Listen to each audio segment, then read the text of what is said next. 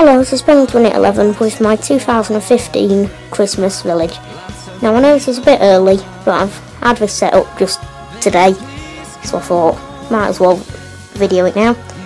Um, for the first time, I have split my layout in two, so that I can have two completely separate themes going on in one go. In the past, I have used the entire layout or the entire table for the Christmas layout but this year it's half a space, but I think it looks okay. Now there's a story behind this, so I might as well go ahead and start with that. So first we'll start at the back. Over here you can see what looks like remnants. You can see a crashed sleigh and this rather shifty looking character. Ooh, for the purpose. So there a rather shifty character with a catapult and a crashed sleigh.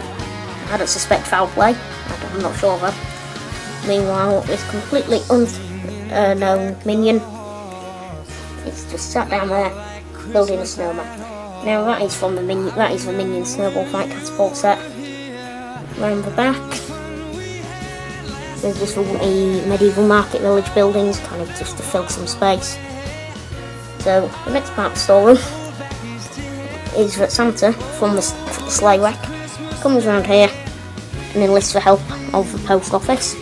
Now these are the Winter Village series buildings.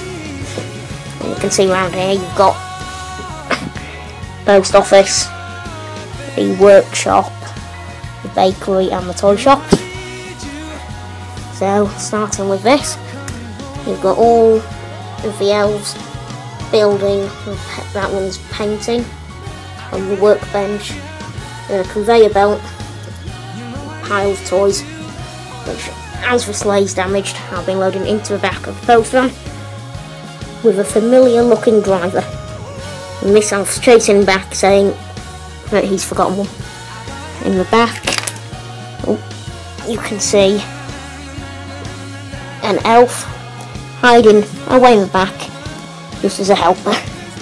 Go ahead and put these oh, go, go ahead and put these back in the post one.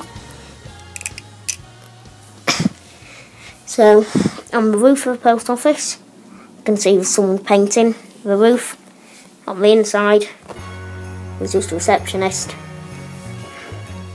and on the outside there's this rather rich looking man carrying three different presents presumably for children, or he might own his own toy shop. Over here, there's a woman selling flowers. And then behind there, there's a man staring into a bakery. And a mother and child coming out of the toy shop with a toy digger. I'll just collect this. That's a bandstand, nothing in there.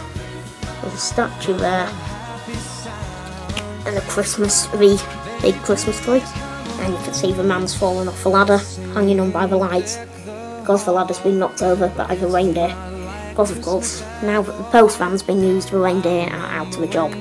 So they're just familiarising themselves with the locals, local horses, and one's having a nibble at a Christmas tree. Which brings me on to this little stand, which sells Christmas trees, but rather than putting the plain Lego trees, which it shows you on that sign.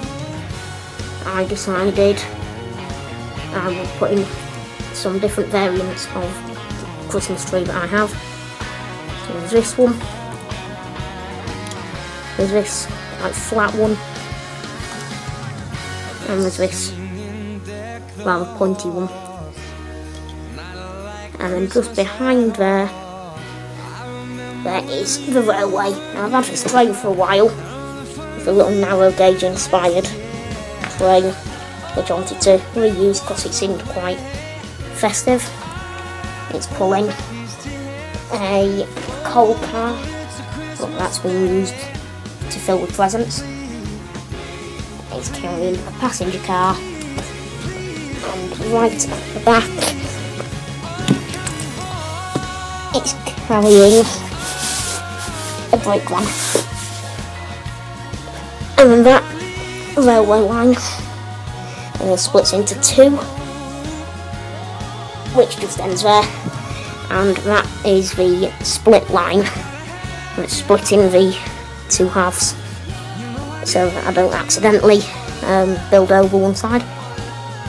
So that is about that for now. Let's go take a look at the figures. So these are all of the non-festive figures. So going for closer. So first of all we have the rich, uh, rich man. They were his toys that he'd been buying. We've got the post shop painter, the lady selling the flowers. I think that was the man with the Christmas tree lights. That was the girl petting the reindeer. The woman selling the trees. The man in the bakery window. Her, the woman and the child coming out of the toy shop with the toy truck. The suspicious looking man. The minion and the snowman. So now let's go take a look at the festive figures.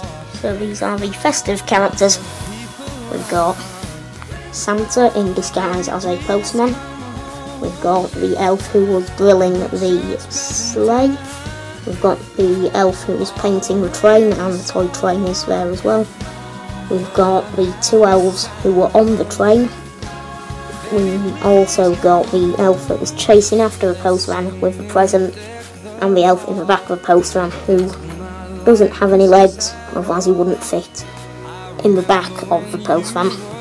And one of these does actually happen to have an alternate face. So it can look like uh, that. Well, that's not as happy as. Well, that's not really happy at all, so stick to that one for now. So now when we line all of the figures up, you can see there's quite a lot of them.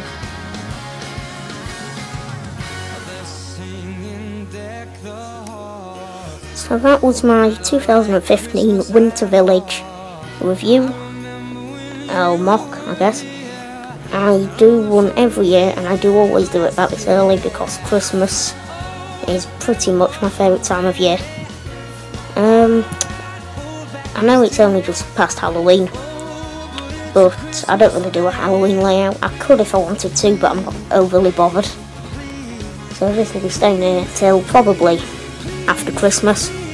Meanwhile, I will be building on that half of the table something new, which will I'll let you know with progress in these new table updates. So, thank you for watching. I'll see you later. Bye for now.